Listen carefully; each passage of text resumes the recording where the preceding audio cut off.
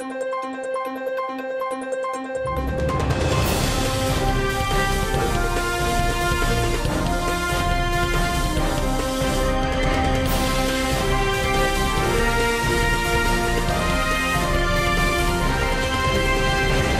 Buonasera, ben ritrovati ad un nuovo spazio dedicato all'informazione dal territorio. Oggi si è impiccato a Verona nelle prime ore della giornata Emanuele Impellizzeri, 38 anni, arrestato con l'accusa di aver ucciso il 5 settembre scorso Chiara Ugolini, 27 anni. L'omicidio è avvenuto nell'appartamento che la ragazza condivideva con il compagno a Calmasino di Bardolino in provincia di Verona. A riferire riferire la notizia della morte il segretario nazionale della Wilpa Polizia Penitenziaria. La scoperta del suicidio risale alle 5.30. Proprio oggi in Pellizzeri sarebbe dovuto comparire per l'interrogatorio. Una coppia di giovani è ricoverata in gravi condizioni all'ospedale in seguito a un incidente stradale avvenuto nella serata di ieri a Caorle. Viaggiavano a bordo di una Mini che in prossimità di una curva è uscita di strada. La macchina è andata completamente distrutta. I due ragazzi feriti sono rimasti bloccati all'interno dell'abitacolo del veicolo. Sono stati liberati dai vigili del fuoco e soccorsi immediatamente dai sanitari del 118 che li hanno trasportati in codice rosso all'ospedale. Sul posto per i rilievi i carabinieri. Operazione Zona Rossa, truffe durante il lockdown. Parliamo di una grossa e importante operazione della Guardia di Finanza di Padova che ha smantellato un'associazione per delinquere che pare avere anche legami con Cosa Nostra. Sentiamo. Un'operazione della Guardia di Finanza del Comando Provinciale di Padova ha permesso di smantellare un complesso meccanismo di frode che ha provocato danni di rilevante entità nei confronti di oltre 60 operatori economici dislocati sul territorio nazionale. Un'associazione per delinquere è entrata in azione nel periodo del lockdown. 13 persone indagate, 3 con misure cautelari in carcere. Nel dettaglio il sodalizio criminoso che vede coinvolti a vario titolo questi 13 soggetti, di cui uno indagato per ricettazione e alcuni percettori del reddito di cittadinanza. Ne fanno parte anche numerose società nelle province di Bologna, Padova, Brescia, Milano, Modena, Novara e Varese. Approfittando anche della forte recessione economica dovuta all'emergenza Covid, erano state individuate due strutture apparentemente in buona salute nelle zone industriali di Sant'Elena e Carmignano di Brenta nel Padovano. Erano basi logistiche dell'organizzazione. Insospettabili prestanome sono stati utilizzati nelle varie operazioni. Fondamentali per il traino la collaborazione di due professionisti. Le procedure prevedevano l'alterazione dei dati di bilancio con prestanome insospettabili. Venivano rigenerate aziende di fatto inattive o decotte al solo scopo di renderle appetibili al mercato e di poter avviare collaborazioni commerciali per approvvigionarsi in maniera indiscriminata di significativi quantitativi di merce. Il danno al momento è stato quantificato in circa un milione e mezzo di euro. L'operazione, che è stata denominata denominata zona rossa pare avere anche legami con un clan di Cosa Nostra. Ed ora diamo uno sguardo ai numeri del Covid relativi al bollettino delle ultime 24 ore nel territorio regionale Veneto. Sono 181 i nuovi positivi registrati. Il numero che eh, ovviamente bisogna tener conto è della fine settimana. Il bollettino regionale segna anche due nuove vittime, dunque il totale dei morti in Veneto da inizio pandemia oggi tocca 11.760 morti. I positivi attuali in tutto il territorio regionale sono 11.345. Parlando dei ricoveri all'ospedale, nelle ultime 24 ore si evidenzia un leggero aumento. 253 i pazienti in area non critica, sono 5 in più i nuovi ricoverati, mentre 55 si trovano in terapia intensiva dove c'è stato un nuovo accesso. A Mestre un uomo di 70 anni è morto a causa del Covid. L'uomo era già stato sottoposto alla doppia dose di vaccino e la causa dell'aggressività del virus viene giustificata con la mancata produzione degli anticorpi. Dubbi e interrogativi ai quali si può rispondere solo verificando la propria reazione attraverso un esame del sangue per capire la risposta soggettiva. Luca Morisi, ideatore della campagna social della Lega guidata da Matteo Salvini, risulta indagato dalla Procura di Verona per cessione di stupefacenti e quanto riportano i quotidiani oggi. Dopo una perquisizione nella sua abitazione in provincia di Verona sarebbero state trovate alcune dosi di droga. Morisi aveva lasciato l'incarico di capo della comunicazione social del leader della Lega alcuni giorni fa per questioni familiari. A Verona un lavoratore dell'Enel ha perso la vita dopo essere stato colpito da un fulmine. L'uomo era salito su un traliccio per riparare un guasto alla linea elettrica. Sembra che sia stato colpito da una scarica e sia morto folgorato. Sul posto sono arrivati i soccorsi ma per lui non c'è stato purtroppo nulla da fare per riuscire a salvarlo. Il tragico incidente dovrà comunque essere ricostruito. E sono tante le regole per la ripartenza, adottando strategie di protezione contro il Covid. Per molti però rimane una certa confusione tra quarantene che cambiano, regole certe e distanziamenti. Sentiamo. Regole che cambiano, misure anti-Covid e allentamenti che fanno percepire la strada verso la normalità. Ma sarà veramente così? Entro il 30 settembre dovrebbero arrivare nuove regole per teatri, cinema, stadi, per regolare le quarantene a scuola e il lavoro in presenza negli uffici. In questo momento però regna ancora la confusione tra bozze e strategie reali. Ci si domanda anche se tutte queste misure saranno realmente utili o se stiamo rischiando. Per quanto riguarda le scuole, il sotto sottosegretario alla salute Sileri ha dichiarato che il governo potrebbe decidere di cambiare il protocollo dedicato alla quarantena nel mese di ottobre, dopo aver studiato gli effetti della riapertura delle scuole. Due le ipotesi sul tavolo, accorciare la quarantena da 7 a 5 giorni o mettere in isolamento non tutta la classe, ma solo chi si trova più vicino al contagiato, il suo compagno di banco o chi è seduto in un banco vicino.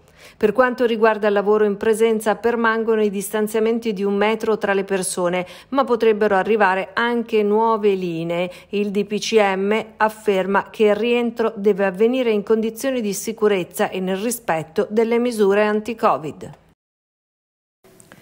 E sono state circa 4.000 le persone che hanno preso parte alla manifestazione contro il Green Pass a Padova durante questo fine settimana. I manifestanti si sono incontrati nel piazzale della stazione e poi hanno proseguito per il centro storico. Striscioni e slogan per far sentire le loro ragioni. In alcuni punti al passaggio del corteo si sono formati anche degli intasamenti, ma non ci sarebbero state particolari criticità. Apparecchi chiaro che non si tratta solo di proteste contro il certificato, ma di un pensiero contrario al vaccino. Molti esprimono timori per le conseguenze derivanti dall'inoculazione delle dosi. Parliamo di Covid e montagna. Quest'anno si potrà andare a sciare finalmente e vivere le piste, ma sentiamo quali saranno le novità. Che impatto avrà la pandemia sul comparto turistico montano? Come reagire? Che strategie usare per affrontare la stagione imminente? Dopo stagioni rovinate il comparto si sta preparando alla sfida per il nuovo inverno. Nei giorni scorsi è stato firmato a Milano il protocollo riapertura delle aree sciistiche per l'utilizzo degli impianti di risalita. Sugli sci sarà obbligatorio il Green Pass, bisognerà indossare la mascherina sugli impianti di risalita e la capienza sarà ridotta all'80% in funivia, dove dovranno essere aperti anche i vetri per mantenere la giusta reazione. All'interno delle aree sciistiche dovranno essere creati dei percorsi che garantiscano il distanziamento interpersonale di almeno un metro. Dolore ad Adria dopo la notizia della morte di Mattia Panarella, appena 17enne. Il ragazzo sabato sera è rimasto coinvolto in un incidente stradale poco distante da casa, mancavano quasi 100 metri. Era alla guida del suo scooter quando si è scontrato con un'automobile. L'autopsia sul corpo di Giacomo Sartori sembra confermare l'ipotesi del suicidio, una tesi che però non convince ancora quanti conoscevano il ragazzo. Chi lo conosceva infatti trova impossibile un gesto simile da parte sua, dunque i dubbi e gli interrogativi restano ancora molti. Giacomo della provincia di Belluno lavorava come informatico a Milano. La sera della sua scomparsa aveva subito il furto del PC. Il suo corpo, dopo l'allarme per la scomparsa, è stato trovato alcuni giorni dopo a Pavia in un'area nascosta. Le ricerche si erano concentrate in quell'area dopo il ritrovamento dell'automobile segnalata sul posto da un residente. Ci sarebbe anche una telecamera che avrebbe ripreso il giovane prima della tragedia. Pizzicato nell'Alta Padovana un cittadino che di notte aveva abbandonato dei rifiuti lungo la strada. L'uomo sceso dalla sua auto ha gettato dei sacchi e si è dileguato senza mettere in conto che quella mossa veniva ripresa dalle telecamere di videosorveglianza. In poco tempo gli agenti della locale lo hanno individuato e per lui sono scattate una serie di conseguenze come previsto dalla legge. E adesso parliamo di eventi ma anche di tradizioni. Allora andiamo con Emanuele Compagno sulla Riviera del Brenta. È stata vinta dalla squadra di Mira la sedicesima edizione del Palio del Ruzzante, la manifestazione che si svolge tutti gli anni in questo periodo grazie alla Proloco di Fiesso d'Artico. Il Palio del Ruzzante, che quest'anno si è tenuto ieri, domenica 26 settembre, è una gara che consiste nel traino di una grossa barca, un burcio, da parte di squadre formate da cinque tiranti lungo un tratto del naviglio Brenta. La squadra vincitrice riceve un palio, cioè uno stendardo dipinto appositamente da un pittore. La gara è preceduta da un corteo storico rievocativo della vita sul Brenta ai tempi del Ruzzante. Ad essa partecipano squadre rappresentanti le diverse comunità brentane. Per secoli i tiranti hanno trainato con la sola forza delle braccia o con i cavalli le barche che univano Venezia e Padova. Ora, per rievocare il loro mondo, moderni atleti si affrontano trascinando dalla riva un grosso e pesantissimo battello. Il loro lavoro è ricordato, fra gli altri, da uno dei grandi figli della terra veneta, Angelo Beolco, più noto come Ruzzante, il nome del suo personaggio teatrale. Angelo Beolco, infatti, meglio noto come Ruzzante, è certamente il massimo scrittore veneto del Rinascimento e forse di tutta la letteratura della nostra regione. La sua attenzione è sempre rivolta alle vicende e alla vita dei contadini e del popolo, il che lo porta a essere spesso in polemica con la cultura presunta alta del suo tempo tempo. Il mondo di Ruzzante è per scelta abbastanza ristretto, va dai Colli Ugani a Venezia attraverso Padova, da Chioggia alla riviera del Brenta attraverso la Saccisica. Il naviglio dunque fa parte appieno di questo mondo, pur segnandone in qualche modo il confine. Caratteristico in Ruzzante è l'uso, per quasi la totalità dell'opera, del dialetto, idioma naturale contrapposto al fiorentinesco, artificiosa costruzione dei letterati. Questa scelta lo fa essere uno dei padri culturali dell'identità veneta. Di Tiranti Ruzzante parla in almeno due luoghi della sua opera, una pagina del Bilora in cui il protagonista dichiara appunto di aver fatto il tirante e una scena della Betia che presenta questo lavoro come particolarmente pesante, tanto che viene comminato come sanzione, in questo caso a donne di facili costumi. Il naviglio fu tra i primi corsi d'acqua al mondo ad essere dotato di chiuse che permettevano di superare agevolmente i dislivelli e di richiedere un traino abbastanza leggero, anche per barche ingombranti. In genere a partire dal Cinquecento troviamo che burci e burchielli sono trainati da un solo cavallo, in questo caso, specie in discesa, basta un uomo. Il palio è stato disputato per la prima volta nel 2005 con l'obiettivo di far conoscere i valori ambientali, storici, architettonici e culturali della Riviera del Brenta. E adesso è arrivato il momento con angoli da scoprire in Veneto. Le nostre telecamere sono salite a bordo di un velivolo, sempre in compagnia di Emanuele Compagno, che ci ha portato a sorvolare il Polesine. Guardate. Eccoci qua, ci troviamo nuovamente a bordo di questo aereo per Telecittà.